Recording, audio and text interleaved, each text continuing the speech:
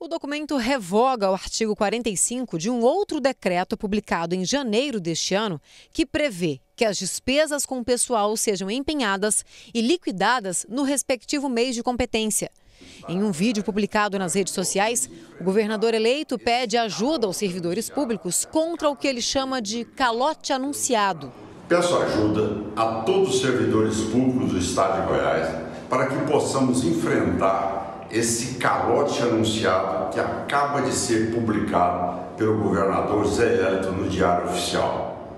Aqui, ele transfere para ele a prerrogativa de não quitar a folha de pagamento dos próximos meses.